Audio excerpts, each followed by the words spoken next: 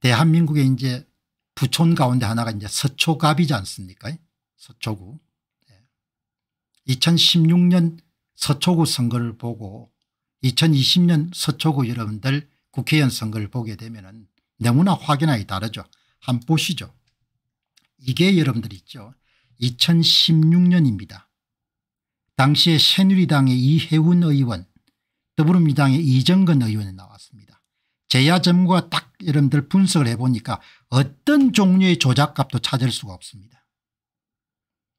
후보 사이에 전산 프로그램 이용해 가지고 득표수가 이동한 증거는 2016년 20대 총선에서는 전혀 찾아볼 수가 없습니다. 그래서 0값이 나옵니다. 여러분 그러니까 조작을 하지 않으면 중앙선거관리위원회가 발표한 후보별 득표수를 다운로드를 받아 가지고 예, 시뮬레이션을 들어가더라도 예, 이렇게 000으로 전혀 조작이 없는 그러니까 그것은 예, 중앙선거관리위원회가 발표한 선거 데이터가 무작위수 랜덤 넘버 자연수라는 겁니다. 손을 대지 않았다는 겁니다. 예, 그게 이제 검증이 된 거죠. 그 다음에 2020년도 4.15 총선의 여러분들 후보별 득표수 선거 데이터를 다운로드를 받아가지고 제야 전문가 이런 분석해 보니까 딱 걸려들지 않습니까 규칙성이. 미래통합당의 윤희숙 후보의 사전투표 참가자 수의 30%를 빼앗고 국가혁명배당금당의 신방호 후보의 사전투표 참가자 수의 30%를 빼앗은 거 아닙니까 그래서 두 사람의 합친 표가 7371표입니다.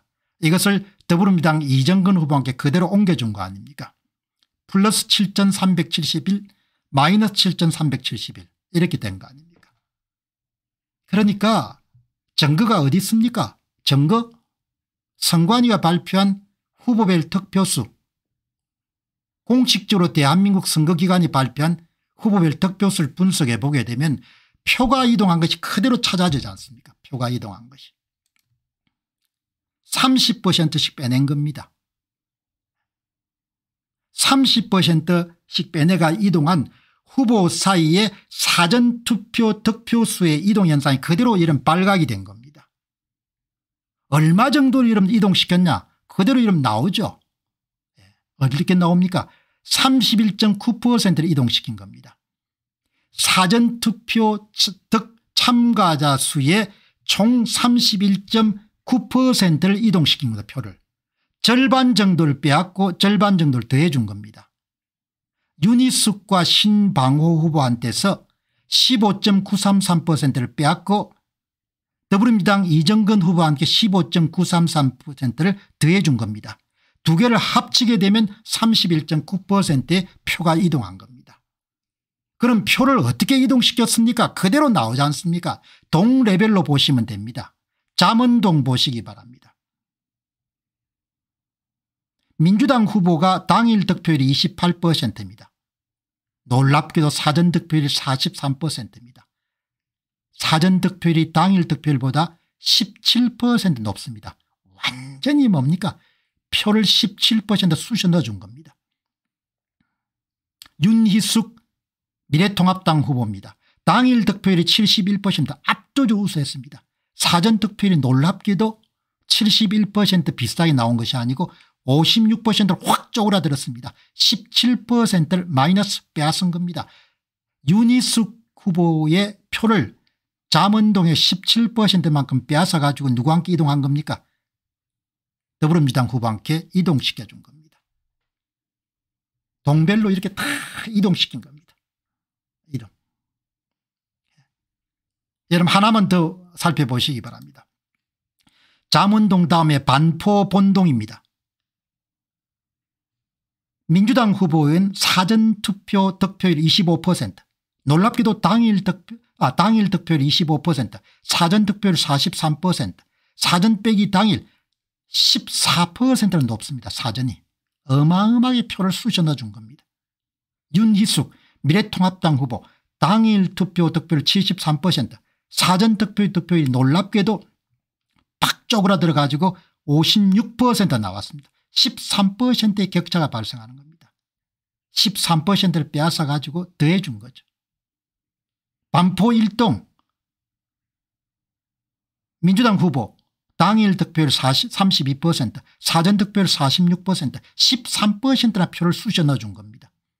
윤희숙 당일 득표율 66% 사전 득표율 66% 비슷하게 나와야 되는데 53%로 확 줄어듭니다. 격차 마이너스 13% 이렇게 동별로 다 여러분들 표를 뭡니까 예, 뽑아가지고 넣어준 겁니다. 표를. 여러분 이걸 캡처하셔 가지고 다른 것도 여러분들 조사해 보시면 도움이 될 겁니다. 여러분 이렇게 하니까 선거가 엉망진창이 되니까 표를 이동해 놓으니까 그림이 이렇게 나오는 겁니다. 차이값 사전투표 득표율 빼기 당일 득표 득표율 윤희수가 함께 뭐죠 최소 마이너스 13% 마이너스 18%를 뽑아가지고 더불어민주당 이정근 함께 플러스 13에 플러스 18%를 대준 겁니다. 2020년도 4.15 총선 결과입니다. 어마어마하죠. 서초구 갑에서는 그냥 노다지였습니다. 노다지로 뭡니까 여기는 어느 동연 이제 미래통합당 후보에서 18%까지 빼앗아 가지고 플러스 18.28%까지 더해 주는 겁니다. 밑에 보니까 17.5%까지 빼앗아 가지고 17.5%까지 이름 더해 주는 겁니다. 이런 짓들을 이런 짓들을 그냥 전산을 이용해 가지고 그냥 선거를 한 게 아니고 그냥 전산 게임을 한 겁니다. 전산 게임을. 예. 그냥 조작감만 들으면 30% 이렇게 2016년입니다. 2020년도 그냥 이것만 넣으면 그냥 탁탁탁 답이 나오는 겁니다. 총 31.9% 조작한 거죠. 동별로 이렇게 야무지게 뭡니까 표를 훔친 겁니다. 그래서 뭐죠 그래프가 이렇게 나옵니다. 이 미친 그래프가 나온 거죠. 대한민국 이런 대다수가 되돌다들이 많을 건데 이런 걸 보고도 뭡니까 의분도 안 느끼고 개돼지하고 똑같은 겁니다. 짐승하고 가축하고 같은 거죠.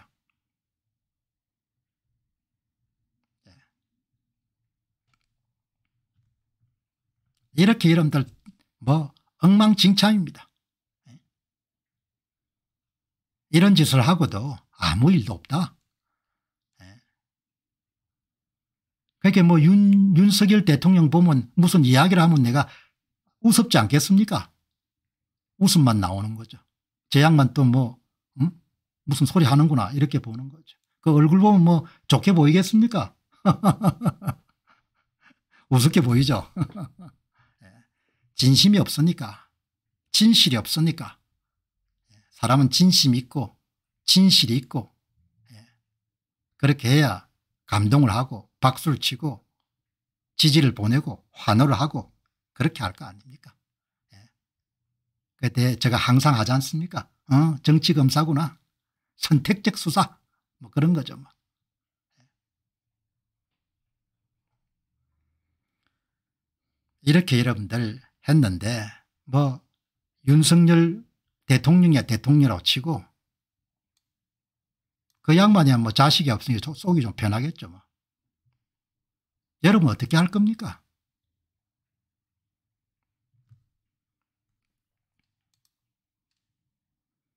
서초갑을 알아봤으니까 서초울도 한번 알아보죠. 내친 김에. 예.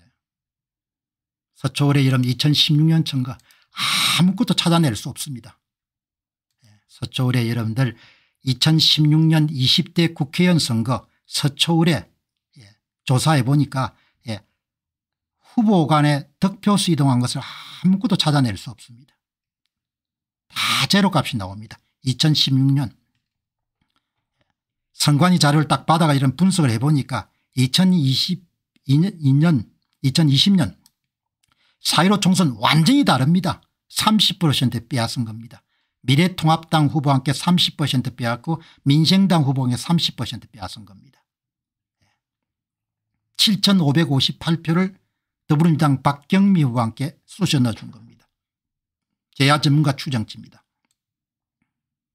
그래서 그러면 이 7558표 7558표를 빼앗으면 7558표 곱하기 2가 총표가 이동한 건데 이건 어느 정도 숫자냐 사전투표 참가자수의 30.1%를 표를 이동시킨 겁니다. 이거는 여러분들 민주당 후보의 사전투표 득표율 당일 투표 득표율 39% 미래통합당 후보의 사전투표 득표율 45% 당일 투표율 60% 여러분 이것만 봐도 선관위 자료만 봐도 막 그냥 냄새 확 풍기지 않습니까 어떻게 사전과 당일이 플러스 15가 나오고 사전과 당일이 마이너스 14.9가 나옵니까 그냥 이것만 보더라도 예? 선관위 발표된 자료만 보더라도 그냥 이거는 그냥 그야말로 선거가 아닙니다. 미래통합당 후보의 당일 득표 득표율이 60% 사전 득표율이 어떻게 45% 나옵니까 어떻게 14.9% 격차가 나옵니까 표를 빼앗았다는 거죠. 민주당 후보가 여러분들 당일 투표 득표율이 39%고 사전 투표 득표율 54%입니다. 사전 빼기 당일이 플러스 15.1입니다. 어떻게 이렇게 큰 수치가 나옵니까 당일 투표에서 표를 쑤셔 넣어줘 가지고 사전 투표 득표율이 54% 나온 거죠. 그러니까 이 선관위 자료만 보더라도 득표율을 한순위가 보더라도 뭡니까 그냥 이게 정상선거가 아니라는 겁니다. 더 여러분 궁금하신 분은 예? 그냥 동별로 몇 표나 뽑아갔는지 보시면 되잖아요. 서초 1동 서초 1동 민주당 후보 당일 투표 득표율 36% 사전투표 득표율 52% 사전 빼기 당일 플러스 14% 완전히 미친 수치입니다. 당일 득표율이 36%가 나온 후보가 사전 투표에는 용을 써가지고 52%까지 나온 겁니다. 전산을 이용해 표를 넣어주지 않으면 플러스 14% 격차가 나올 수가 없잖아요. 미래통합당 후보 당일 투표 득표율 62% 사전투표 득표율 46% 사전 빼기 당일 마이너스 13% 어마어마하게 표를 빼앗은 거죠. 당일이 62% 나오는 후보 같으면 당연히 사전도 62% 비싸게 나와야 되는 거죠. 이렇게 조작들을 다 한 겁니다. 뭘 이용해 가지고 전산 프로그램을 이용해 가지고 예.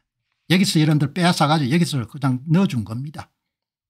서초 이동 보시기 바랍니다. 예. 서초 이동 민주당 후보 당일 투표 득표율 35% 사전 투표 득표율 49% 사전 빼기 당일 플러스 15% 이런 결과가 어떻게 나옵니까 당일이 35%면 사전도 35% 비싸게 나와야 되는데 49% 나왔다는 것은 15%만 표를 밀어 넣어줬다는 거죠. 미래통합당 후보 당일 투표 득표율 63% 사전투표 득표율 50% 마이너스 14% 어마어마한 표를 훔친 겁니다. 동별로 다 이렇게 훔쳐가지고 예, 야무지게 뭡니까 표를 만든 것이 예, 종합을 하게 되면 이렇게 30%를 빼앗아 가지고 7558표를 빼앗아 가지고 7558표를 더해 준 겁니다. 이렇게 해 놓으니까 이런 그래프가 이렇게 나오는 겁니다. 11에서 17%만큼 빼앗고 11에서 17번만큼 이런 더해 주는 이런 그래프가 예, 전산 프로그램이 가지고 표를 조작했기 때문에 나오는 거죠. 그렇지 않고서는 뭡니까 죽었다 깨어나더라도 이런 표가 나올 수가 없는 거죠. 야, 근데 참 저도 새로운 경험입니다만은 인간이 참 무섭다는 생각이 듭니다. 이런 수학이 아니고 통계학이 아니고 산수잖아요 산수. 이 산수의 근거는 중앙선거관리위원회가 발표한 후보별 득표수라는 것을 갖고 산수를 한 거지 않습니까 이 산수가 명백한 부정선거의 증거잖아요. 전산 조작의 증거고 전산 프로그램을 이용해 가지고 후보사의 득표수를 원하는 만큼 옮긴 거 아닙니까 여기서 원하는 만큼은 양 후보의 30%를 빼앗아 가지고 더한 거죠. 총 30.1%를 빼앗은 겁니다. 절반을 빼앗고 절반을 더해 주고 그러니까 마이너스 여러분들 13% 플러스 13% 하면 더하게 되면 제로니까 표는 안 나는 거죠. 예. 이거를 제야 전문가가 다 전국을 조사해 가지고 찾아낸 거 아닙니까 예. 이거를 보고도 그냥 침묵을 하는 겁니다. 그걸 여러분 어떻게 해석하겠습니까 그걸 대통령이 온전한 대통령이라 보겠습니까? 그런 검찰총장을 온전한 대통령 검찰총장을 보겠습니까? 그 사람들이 무슨 이야기하면 아 정말 참 지당하스 마십네 그런 생각이 들겠습니까? 아니면 헛소리구나. 또 헛소리 하네 이런 생각이 들겠습니까? 지당하다는 말씀이 안 들죠. 네. 이렇게 선거를 다 만들 수 있게 된 겁니다. 선거를. 대한민국 선거를 다 만들 수 있는 겁니다. 이렇게. 네. 그것은 그냥 주장이 아니고 입증을 한 겁니다. 이렇게. 2016년은 전혀 문제가 없었고 2020년부터 이렇게 작업에 들어가 가지고 컴퓨터로 계산해 보니까 무려 사전투표 참가자 수의 30.1%의 표를 이렇게 이동을 시켰더라. 그래서 동별로 몇 표나 이렇게 받는 거 보니까 서초일동에서 몇 표, 서초이동에서 몇 표 이렇게 옮겼고 그것을 종합적으로 해보니까 이렇게 딱 표가 정리가 되더라. 이런 거 아닙니까 서초월 서초갑도 마찬가지지 않습니까 예. 서초갑의 2016년 총선에서는 전혀 문제가 없더라. 그런데 예. 2020년 여러분들 서초갑 총선에서 보니까 딱딱 30% 훔쳤더라. 정확하게 선관위가 발표한 후보별 득표수의 정확한 수학의 관계식이 성립되는 겁니다. 30% 30% 빼앗아 가지고 이쪽으로 넘긴 정확한 규칙이 발견된 겁니다. 규칙이 발견됐다는 것은 뭐죠 투표자들이 던진 표를 합산한 것은 자연수인 거죠. 무작위수입니다. 랜덤 남바입니다. 저때 인공수가 아니기 때문에 어떤 종류의 규칙도 찾아낼 수 없어야 되는 거죠.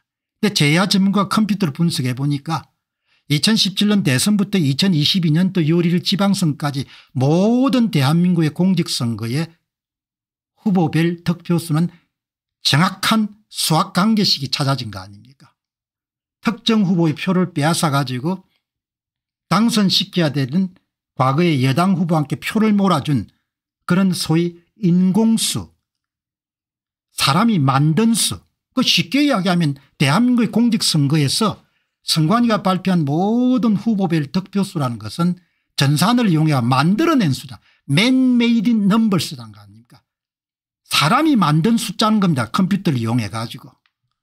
그거에 찾아진 거 아닙니까 컴퓨터를 이용했기 때문에 이런 뭡니까 정확하게 기계로 만든 이런 관계식이 나오는 거죠.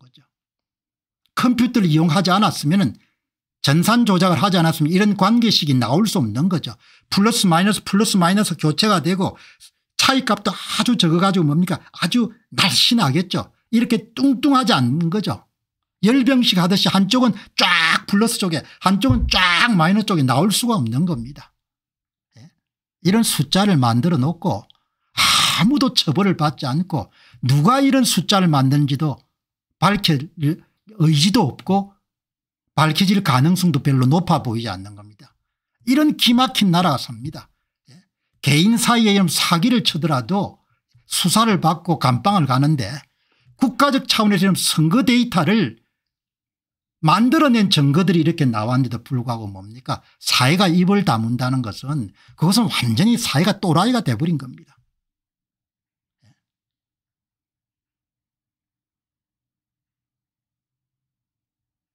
이게 어떻게 가능합니까?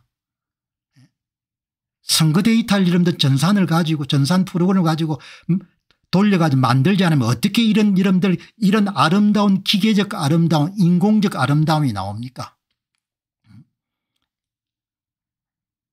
이거는 뭡니까? 무슨 뭐 무슨 뭐 아주 난해한 학문을 하는 것이 아니고 이게 어떻게 나오냐 이렇게 기계적 아름다움이 예? 수많은 여러분들 투표자들이 투표에 참여하는데 더불어민주당이 이정근 후보하고 미래통합당 함께 이런 표를 던지는 사람들이 수천 수만 명이 되는데 그 사람들이 뭐죠 윤희숙에 대한 사전투표 여러분들 지지도 하고 당일투표 지지도가 이렇게 차이가 날 수 있나 어떻게 윤희숙은 모든 사전투표는 다 패배하고 당일투표는 압승하냐 이야기죠. 더불어민주당 이정근 후보는 어떻게 뭡니까 모든 사전투표에서는 다 이름들 압승하고 뭡니까 당일투표는 대패를 하냐 이야기죠. 에? 어떻게 이런 게 나옵니까 이런 짓을 하고도 대한민국이란 공동체가 사실을 규명하려고 하는 어떤 의지도 없는 거 아니에요. 신임 여름 윤석열 대통령이라는 사람이 전혀 의지가 없는 거 아닙니까 그런데 무슨 자유라고요? 지나가는 개도 웃죠. 공정이라고요? 상식이라고요? 이거는 그냥 이 그냥 우리 세대의 문제가 아니고 이게 뭡니까? 그냥 관여가 돼 가지고 선거마다 지금 이렇게 숫자를 만들어서 공직자를 선출하고 있는 거 아닙니까? 선거를 말라고 하냐 이야기 선거를 선거를 왜 하냐 이야기입니다. 그냥 저거끼리 앉아가지고 뭡니까 전산 프로그램 돌려가지고 뭡니까 하면 그냥 뭐 몇 시간이면 다 뭡니까 국회의원이고 대통령이 다 뽑을 건데 말라고 선거를 하냐 이야기예요. 이런 불의와 이런 부정직 앞에서 국민들이 다 침묵하는 겁니다. 공박사 열심히 해봐요. 최선을 다해봐요. 이런 거 아닙니까 이게 어떻게 뭡니까 공병호 일입니까 정말 징글징글해요. 이게 어떻게 나 이게 사람 사는 세상인지 이게 아마 죽을 고생을 할 겁니다. 아마 앞으로 두고 보세요. 내가 악담을 퍼붓는 게 아니고 이런 불의가 이렇게 반복되는데도 이게 정신이 없는 겁니다. 사람들이 그냥 에? 야 이거 뭐 내가 볼 때는 어떻게 여러분 이게 가능합니까 여기에 대해서 누가 만들었는지 밝혀야 될 거 아니에요. 누가 이런 일을 했는지 어떻게 했는지 왜 했는지 지휘 라인은 어딘지 선관위 관계자 관계한 건지 제3의 외주처가 한 건지 투표지 분류기를 쓴 건지 메인 컴퓨터를 쓴 건지.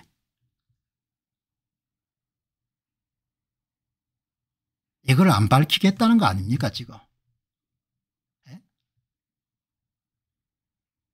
이걸 안 밝히고 앞으로 어떻게 할 겁니까? 이제 총선이 1년 6개월 남았습니다. 나도 여러분들 이 일을 그냥 어떤 때는 그냥 때리치우고 싶지만 이 불의를 어떻게 여러분들 보고 입을 그냥 다물고 있겠습니까? 에? 대통령이 자기 책무를 다 하고 있는 겁니까? 대통령이 폼 잡으려면 대통령을 시켜준 겁니까? 대통령은 권리와 의무 관계가 있는 거 아닙니까? 대통령이 되면 은 책무가 있는 거 아닙니까? 헌법을 수호하고 이런 불의를 뭡니까? 규명해 달라고 대통령을 뽑은 거 아닙니까? 폼 잡으라고 그럼 대통령을 뽑아 준 겁니까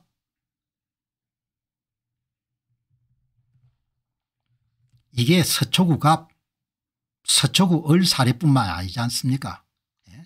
여러분 이게 말입니다 이게